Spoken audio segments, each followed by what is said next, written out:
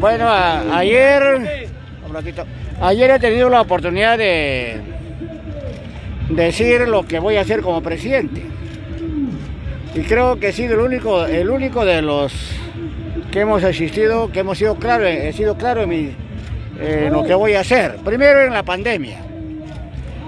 Traer la pandemia lo más rápido, cueste lo que cueste.